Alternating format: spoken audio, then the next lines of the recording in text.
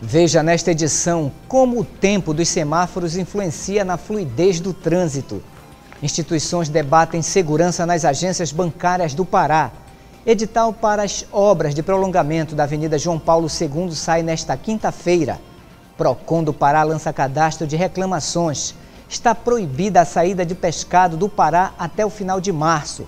A dica de leitura com o escritor Carlos Correia Santos. Comunidade realização de evangelização no bairro do Tapanã. E capital paraense terá um novo pronto-socorro. Hoje é segunda-feira, 18 de março de 2013 e o Nazaré Notícias já está no ar.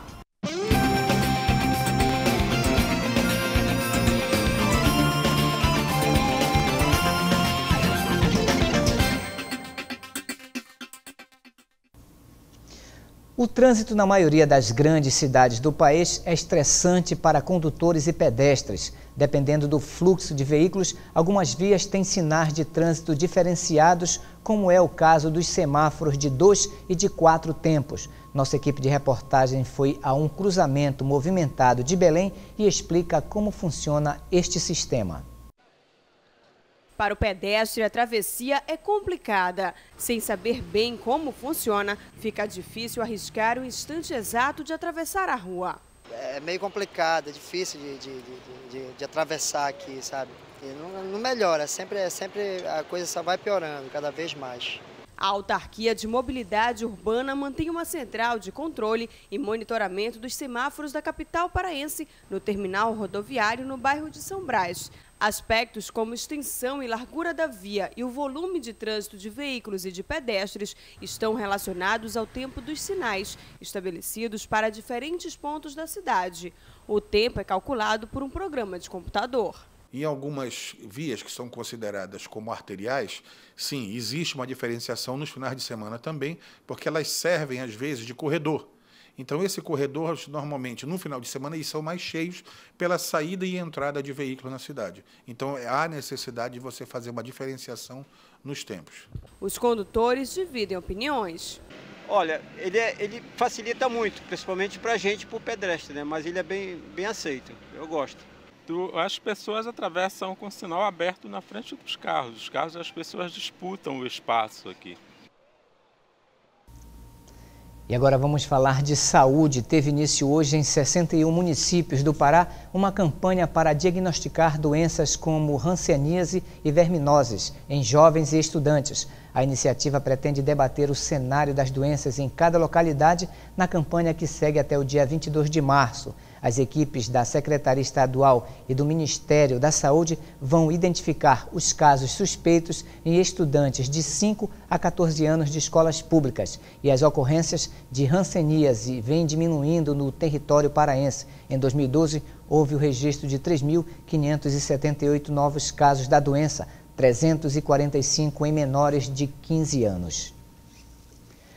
Constantemente ouvimos casos de assaltos, furtos e explosões de caixas eletrônicos pelo país. Um seminário em Belém debateu como combater esse tipo de violência e a segurança dos bancos, dos bancários e dos usuários. Mais de 30 anos de dedicação ao Banco do Estado do Pará e seu Benedito enumera os assaltos que viveu. É, durante a minha vida de bancário foi dois assaltos. Um em em 88, 89 mais ou menos, não estou bem lembrado da data. Foi logo que eu retornei de, de Belém a Santarém. Nós tivemos um assalto armado lá naquele tempo. Eles chegavam todo mundo armado, rendiam, rendiam o gerente, rendiam as pessoas. Quem fala, até uma colega falou: Olha, parece um assalto. Quando ele falou: Parece um assalto, outro pulou e com a arma em cima dela. Depois nós tivemos esse outro assalto já uns dois anos atrás, três anos, se não me engano, com do sapatinho. Em 2012, 36 bancos foram assaltados no Pará um bancário morreu. Esse ano já foram quatro ocorrências.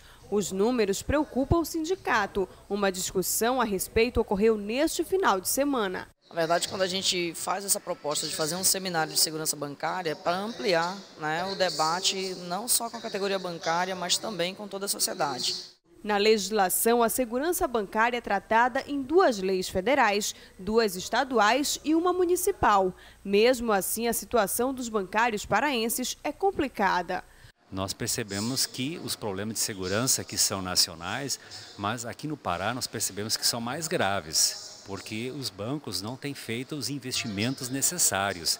Nós temos muitos problemas né, de transporte de valores sendo feito por bancários, número insuficiente de vigilantes nas agências e nós temos o crime da saidinha de banco. Uma cartilha elaborada pelos próprios bancários visa incentivar a criação de políticas públicas sobre o tema. Mas para a polícia, a melhor forma de conter a violência ainda é a prevenção. Portanto, medidas de prevenção e não é, é, impedir que o cidadão faça, é, é efetue ligações telefônicas, é, não impingir ao cliente o fato de ele que ter tomar, tomar medidas para que o, o crime não ocorra. As ocorrências estão saindo de dentro do banco, os bancos são sim responsáveis por adotarem medidas de prevenção e a segurança pública cuida do cidadão aqui fora. Para quem sofreu a violência, o trauma é eterno. Tanto é que eu não quis assumir a, a gerência geral, nunca quis. Fui convidado várias vezes, mas não quis. Justamente para preservar a minha família. Eu acho que a família é mais importante do que o, o dinheirinho a mais. 32 famílias ribeirinhas na região do Marajó serão contempladas por ações de regularização fundiária. Elas vão receber da Superintendência do Patrimônio da União o termo de autorização de uso sustentável que reconhece o direito à ocupação das áreas de várzeas. A entrega do termo será realizada entre os dias 19 e 24 deste mês nas cidades de Ponta de Pedras, Sebastião da Boa Vista e Moaná. A ação é desenvolvida através de projeto Nossa Várzea, Cidadania e Sustentabilidade na Amazônia, que há sete anos realiza a regularização fundiária no Marajó já foram beneficiadas 10 famílias no território. Agora o tema é educação. Atividades letivas dos alunos da rede pública estadual do Pará iniciaram hoje. Cerca de 400 mil estudantes devem voltar às salas de aula em todos os níveis e modalidades de ensino. Neste ano, a Secretaria de Estado de Educação vai implementar o Pacto pela Educação para tentar aumentar em 30% o índice de desenvolvimento da educação básica num período de cinco anos. No próximo dia 21 será lançado o edital de licitação para as obras de prolongamento da Avenida João Paulo II em Belém. A licença emitida pela Secretaria Estadual de Meio Ambiente foi publicada no Diário Oficial do Estado no último dia 13 de março. A previsão é de que a obra inicie após 60 dias do lançamento do processo de licitação e de que seja concluída em até 16 meses. O custo será de cerca de 283 milhões de reais. Serão construídos mais de 4,5 quilômetros e meio de avenidas. Ela vai da intervenção da passagem Mariana até o viaduto da Mário Covas ou viaduto do Coqueiro, como é conhecido. Depois de concluída, a Avenida João Paulo II cruzará a capital paraense e o município de Ananindeua. A gestão da obra é do Núcleo de Gerenciamento de Transporte Metropolitano, criado pelo governo do estado exclusivamente para o projeto Ação Metrópole. A população clama né, sempre por uma segunda alternativa, um sistema binário para Almirante Barroso e para o próprio BR-316. Né. Hoje, algumas, o Estado está exatamente no pensamento disso, com essa expansão toda, das, ao longo é, da, do, do, saindo do município de Belém com o município de Ananindeua, a, a, João Paulo vai ser mais uma alternativa, assim como o governo do Estado está também já com o projeto de desenvolvimento da independência, pelo outro lado. A avenida que vai tanger os limites do Parque Ambiental do Tinga vai contar com duas pontes de cerca de 220 metros, cada uma sobre os lagos Bolonha e Água Preta. Além da pavimentação, a obra inclui uma adutora da Companhia de Saneamento do Pará. A mudança no projeto foi necessária para garantir as licenças prévias de instalação. O objetivo é conter o avanço urbano para as margens do Parque Utinga e funcionar como um filtro sanitário que vai conter a água da chuva e o lixo urbano que seria deslocado para os reservatórios da água do parque, o que não estava previsto no projeto anterior. O novo traçado ela vem trazer, ah, na sua geometria, uma linha limítrofe ao que hoje está como limite do Parque do Utinga. Ou seja, essa via ela vai funcionar como limite físico é, para o próprio parque e quando da sua concepção, quando do seu, da sua estruturação geométrica, ela também vai servir como uma barreira sanitária para o parque, já que internamente ao parque a gente tem os mananciais é, que abastecem Belém. Além de alterar a paisagem urbana dessa área de Belém, a via vai servir para a saída e entrada da cidade, uma alternativa ao BRT que só deverá ser retomado após a conclusão da João Paulo II. A necessidade de se colocar, porque nós vamos intervir o próprio NGTM, o Ação Metrópole, no, BR, no, no BRT da BR-316, e imagine que toda vez que a gente começa a obra, há, há um certo ocupações de espaço e cria transtorno para o sistema de tráfego, que hoje já está totalmente caótico. É, esse trecho que aonde vai ter o BRT é hoje um dos trechos que mais é, preocupam a, a, as pessoas por causa é, das várias implantações de equipamentos que foram lançados. Então, a, a João Paulo vem exatamente criar essa alternativa, liberando parte é, porque nós vamos no BRT, nós vamos intervir exatamente no canteiro central, mas de qualquer maneira vamos criar transtorno na, na, na BR e a população vai ter mais uma alternativa de mobilidade e acessibilidade. O Conselho Regional de Enfermagem abrirá um processo administrativo para apurar as condições de trabalho dos profissionais de enfermagens após o incêndio no último sábado na Santa Casa de Misericórdia do Pará, em Belém. O incêndio atingiu a unidade de terapia intensiva neonatal. Dois técnicos em enfermagem foram internados após o incidente. Hoje, uma equipe do Conselho fará uma vistoria no local. O incidente teria sido provocado por problemas na fiação elétrica de um ar-condicionado. Toda a unidade atingida pelo incêndio foi isolada e passará por reforma. O local onde ocorreu o incêndio foi em uma das salas da UTI 1, que estava com 20 recém-nascidos. Todos foram transferidos para outros departamentos do hospital. E você acompanha ainda nesta edição, Procon do Pará lança cadastro de reclamações. Está proibida a saída do pescado do Pará até o final de março. A dica de leitura com o escritor Carlos Correia Santos. Comunidade Realização de Evangelização no bairro do Tapanã. Na última sexta-feira, em comemoração ao Dia do Consumidor, o Procon do Pará lançou o cadastro de reclamações fundamentadas. Ele está disponível no site do PROCON e registra os índices de processos sobre os produtos e serviços que mais violaram o direito do consumidor.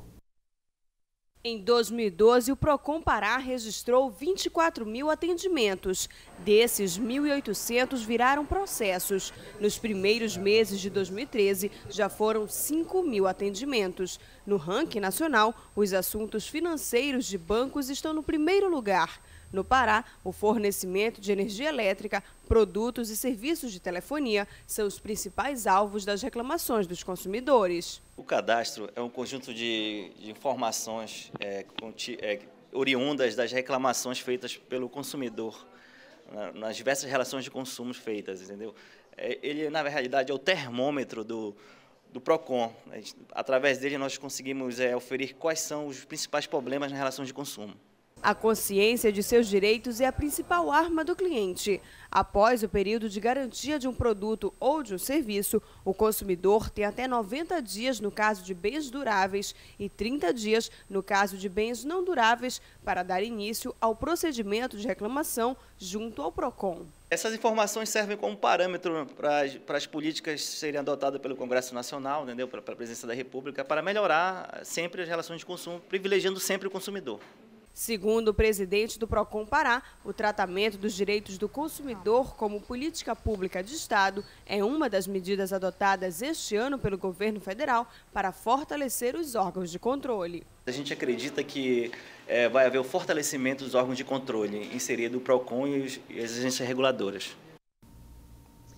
Na próxima sexta-feira, a Universidade Federal do Pará abrirá as inscrições para o processo seletivo especial para preenchimento das vagas remanescentes do processo seletivo de 2013. Serão ofertadas 280 vagas, sendo 5 para a capital e 275 para o interior, distribuídas nos campi de Altamira, Capanema, Castanhal, Marabá, Tucuruí e polos universitários em Limoeiro, Mocajuba, Parauapebas e Tomeaçu. Não haverá aplicação de provas. As vagas serão preenchidas com base nos resultados alcançados pelos candidatos no Enem, no Enem 2012. As inscrições para o processo seletivo especial poderão ser feitas até o dia 2 de abril. E Belém terá um novo hospital de pronto-socorro. A repórter Caroline Guimarães tem mais informações. É isso mesmo, Marcos. Um novo pronto-socorro será construído devido às grandes demandas da capital paraense. E para falar sobre esse novo prédio, eu converso agora com a Regina Maroja, a doutora Regina Maroja, que é assessora do Departamento de Urgência e Emergência da Secretaria Municipal de Saúde. Doutora, muito obrigada por conversar conosco, por aceitar o nosso convite. Tá ok? Doutora, é, a, a demanda é muito grande na capital paraense. Por que, que surgiu essa necessidade de construir esse novo prédio? Bom dia, bom dia a todos. Na, realidade, o nosso atual pronto-socorro Mário Pinotti, ele é um prédio que tem 80 anos já, né? Que vem, vinha sendo adaptado na medida da, da necessidade, da, do aumento da população mas ele está no limite. Né? É um prédio antigo que ele necessita de alterações na parte hidráulica, na parte de, de eletricidade e não tem como mais sustentar né, é, a atual demanda dele. Agora, é, haverá, haver, acontecerão melhoras dentro do pronto-socorro, Maripinóide também? Enquanto é, estiver sendo feito o, o novo projeto, estiver sendo é, realizadas as obras e a conclusão do novo, será feita uma intervenção de gestão no hospital para melhoria né, da, da qualidade da, do atendimento, do, do ambiente de trabalho desses profissionais, né, qualificando de alguma forma o atendimento prestado à população. Agora, teríamos como fazer um, um, um histórico sobre a questão da urgência e emergência aqui na capital paraense? A urgência e emergência na capital paraense, ela não foge do restante do Brasil e às vezes até do próprio né, questão mundial. Ela é um, é um, um, órgão de choque da área da saúde, ele, ele é sempre muito confuso porque sempre tem macas no corredor, ele sempre extrapola a sua capacidade operacional daquela demanda necessária né, para a população. Ela, ela para exigir intervenções físicas, muitas vezes devem ser suspensos os serviços, em função disso, fica difícil parar de prestar aquele atendimento para poder fazer uma intervenção que possa ser considerada uma intervenção final ou mais a longo prazo, e com isso cria uma série de dificuldades. Os próprios equipamentos eles são muito utilizados, eles são muito, é, eles sofrem um desgaste muito rápido e a própria modernização tecnológica obriga né, que esses equipamentos sejam trocados também com uma rapidez maior do que a gente consegue em função mesmo da demanda acentuada desses serviços. Agora, com relação ao novo pronto-socorro, como é que vai ser a estrutura dele? Como é que ele está sendo pensado? Bom, o novo pronto-socorro está pensado para ser um hospital de referência para o município de Belém, alta complexidade. Com isso, ele terá vários ambientes né, para tecnologicamente é, com tomógrafo, ressonância magnética, uma UTI que detenha né, fluxos corretos de, de ar, de aparelho de ar refrigerado, ele vai ter é, classificação de risco, protocolos de atendimento, ele vai ter é, uma área que permita um estacionamento tanto para os funcionários como os usuários, ele vai estar dentro de todos os parâmetros de modernidade para essa área de urgência e emergência. Agora, haverá alguma consulta pública com a população para entender, para ver a opinião deles com relação é, o, é a conduta da gestão, né, a discussão com a população em várias etapas. A própria saúde tem um controle social através dos conselhos de saúde e no decorrer deste ano ainda haverá uma conferência de saúde e com certeza esses aspectos serão discutidos e abordados. Agora, a partir de agora, né, o que é que ainda falta, o que é que vai ser feito a partir de agora para a implantação desse novo pronto-socorro? Está sendo feito estudo técnico, está sendo feita discussão com o Ministério para a captação total desses recursos, né, é, para complementar os recursos da Prefeitura e os estudos técnicos para definir realmente o número exato de leitos, os serviços que serão oferecidos. Doutora Regina Maroja, muito obrigada pela sua presença aqui no Nazaré Notícias e é com você, Marcos. Obrigado, Caroline. Estão abertas as inscrições para o Prêmio Gestão Escolar 2013. Escolas públicas, estaduais e municipais podem se inscrever pelo site do concurso até o dia 31 de maio. O prêmio é promovido pelo Conselho Nacional de Secretários de Educação. Serão selecionadas escolas para representar os estados e o Distrito Federal. As escolas escolhidas recebem o diploma de destaque, prêmio em dinheiro e o título de referência Brasil. A partir desta edição, o prêmio deixa de ser anual e passa a ser bianual. O governo do estado do Pará publicou na semana passada o decreto que proíbe a saída do pescado em todo o território paraense até o dia 29 de março. A repórter Caroline Guimarães tem mais informações.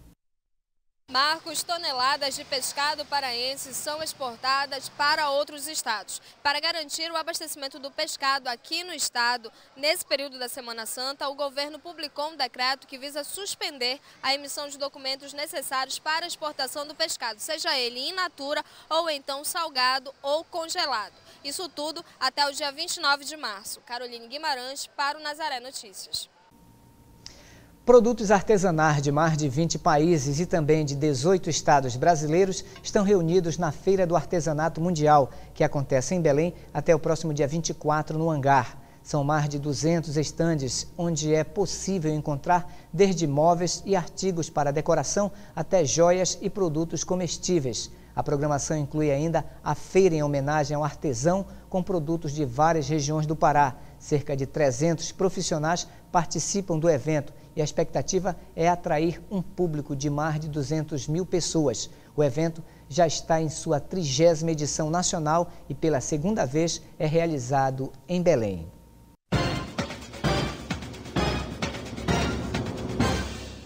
Olá, eu sou o Carlos Correia Santos e estou trazendo uma dica de leitura aqui para vocês da TV Nazaré.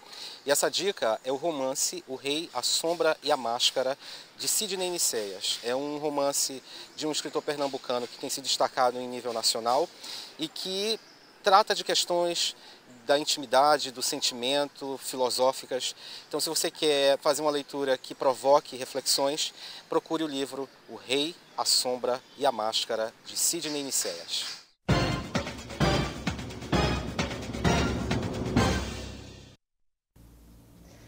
A comunidade Nova Aliança do bairro do Tapanã, em Belém, está realizando uma ação de visitas às residências da região. A iniciativa de evangelização procura conhecer melhor a realidade do bairro e aproximar mais as pessoas, criando comunidade. As ruas sem infraestrutura são fruto de uma ocupação irregular. Os moradores do Tapanã carecem de saneamento, saúde e principalmente de segurança. Por um lado é tranquilo, né? Até porque não tem barulho assim de som alto, de vizinhos, nem reclamação, nem fofoca, nem nada. Agora, a desvantagem é porque, por exemplo, o governo não, não olha para cá por enquanto, né? Tá nesse estado a rua e os meliantes, né? A gente tem que ter muito cuidado de subir e descer para pegar ônibus por causa de assalto. Flávio recebeu a visita dos missionários da comunidade Nova Aliança. Eles orientam as famílias a lidar com a realidade sem perder a fé. Quando a gente vai abordando as pessoas, a gente percebe que a tristeza que está ali naquele coração, às vezes o desespero, a angústia, provém também do desemprego, provém também do abandono que eles vivem aqui, pela ausência também de uma igreja católica mais próxima, que a gente não tem aqui, somente a capela e é distante das casas, né? Então não tem, não tem assistência é, básica que é necessária, como eu dizia, e também não tem essa assistência religiosa. Nem sempre acontece essa visita como nós fazemos. Né?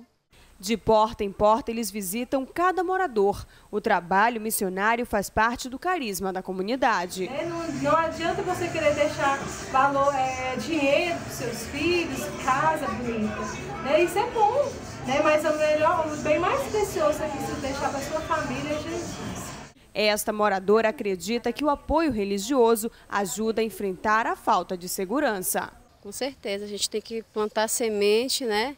Falar do amor de Jesus. Eu creio que a pessoa pode ter o coração duro como for, pode ser violento como for, mas se você falar do amor de Jesus, plantou a semente, mais lá na frente alguém vai colher, né? E aí vai ficar plantado no coração um dia. Aí Deus vai fazendo a obra, né? Através de nós que somos que já conhecem, já conhecedores da palavra, né? Em cada conversa, os jovens percebem que a realidade local reflete na rotina das famílias. Ah, com certeza, né? Sobretudo nos lugares onde a gente tem evangelizado nos últimos tempos, o descaso do governo é muito forte. Né? E quanto mais dificuldade a pessoa passa, maior é a situação que ela vai vivendo dentro da própria casa. Né? Ela vai perdendo os valores, né? já não tem ninguém por si, então cada um vai buscando por si. O trabalho no Tapanã tem pouco mais de dois anos e a comunidade está só começando.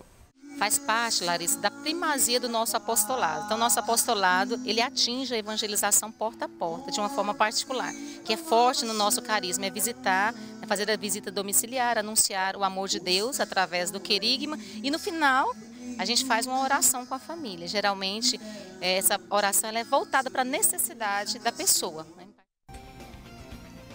E você pode sugerir temas para as nossas reportagens. Basta entrar em contato com a nossa produção pelo número 40069211 e indicar o que você gostaria de ver aqui no jornal. E para rever as matérias de hoje, acesse o Portal Nazaré pelo endereço www.fundacionazaré.com.br ou entre na nossa página no Facebook.